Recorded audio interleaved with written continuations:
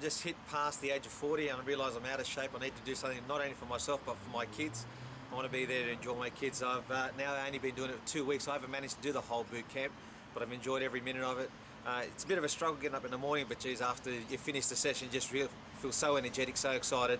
I've already started trimming down, and uh, I try and do as much as I can in my own time. But this has been the best experience for me, and uh, my, my family can start to see the rewards of it as well. So uh, it's been great.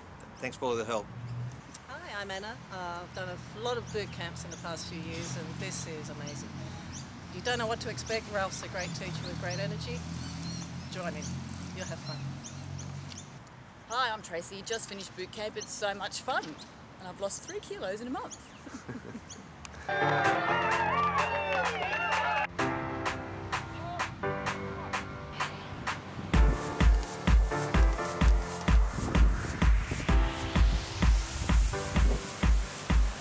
faster, faster.